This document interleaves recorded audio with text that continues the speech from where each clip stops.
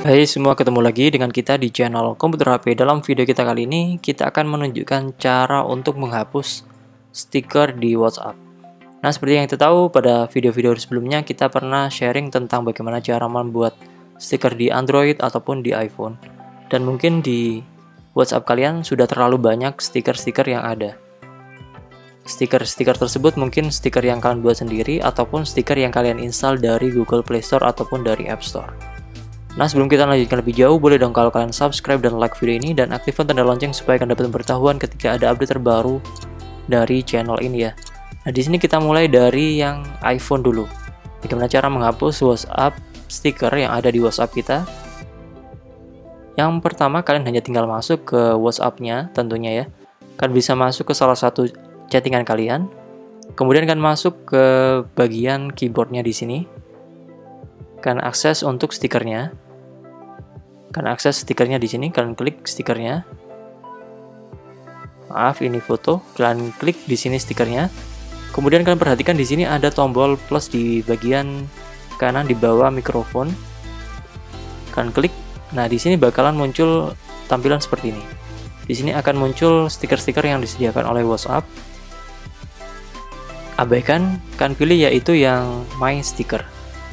Di My Sticker inilah stiker-stiker yang kalian punya dan sudah kalian install baik dari WhatsApp-nya ataupun dari luar WhatsApp. Jadi kalian tinggal klik seperti ini plusnya, kemudian klik My Sticker, kemudian tinggal kalian klik, gak perlu kalian klik di sini, gak perlu, karena simpel sekali cara untuk menghapusnya, gak perlu swipe ataupun klik dan tahan, gak perlu. Jadi tinggal kalian klik seperti ini saja, bakalan muncul seperti ini. Tinggal kalian klik gambarnya, maka di sini bakal muncul tombol delete di bagian bawah. Tinggal kalian klik delete dan secara otomatis stiker tadi bakalan sudah terhapus dari WhatsApp kalian. Misalkan saja di sini kalian tinggal klik kemudian klik delete, maka stiker tadi sudah bakalan langsung hilang dari WhatsApp di iPhone kalian. Bagaimana yang di Android? Di Android secara prinsip sama untuk menghapus stiker di WhatsApp yaitu dengan cara yang sama. Tinggal kita masuk ke WhatsApp-nya kemudian kita masuk ke salah satu chat. Nah di sini kalian tinggal klik tombol plus di bagian kanan. Tinggal klik. Sama seperti di iPhone tadi kalian pilih yaitu My Sticker.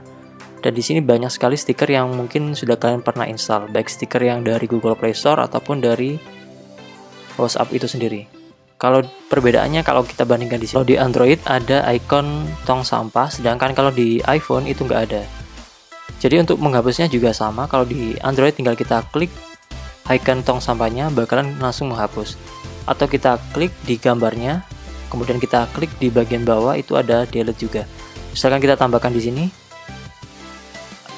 stiker baru misalkan ya. Kemudian kita masuk di sini, bisa kita klik icon tong sampahnya atau kita klik gambar stikernya nanti bakalan muncul di bagian bawah itu ada tombol delete seperti halnya yang ada di iPhone.